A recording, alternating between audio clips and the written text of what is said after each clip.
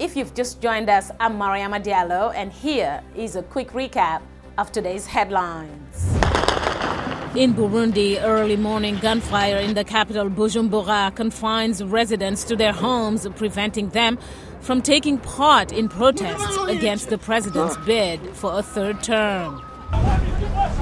In Nigeria, union leaders announced a deal ending Nigeria's weeks long crippling fuel crisis. Burkina Faso begins exhumation of slain ex leader Thomas Sankara, who was killed in a 1987 coup d'etat. Finally, in Libya, Dawn militia members fight government forces for control of the area near the Watiya military airbase west of Tripoli. That's all for today. Thanks for watching. We'll see you next time.